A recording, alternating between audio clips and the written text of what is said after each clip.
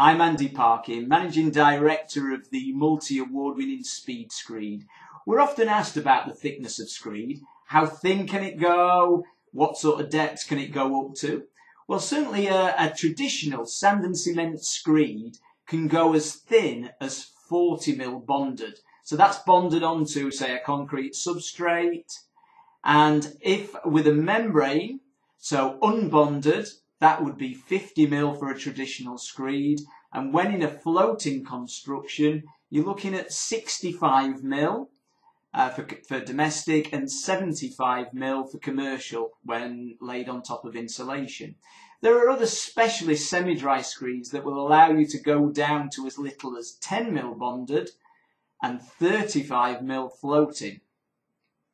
There are also some smoothing compounds that also contain uh, fibres and other products that you may want to use and they go down really from 1 mil upwards so that would be in a bonded construction.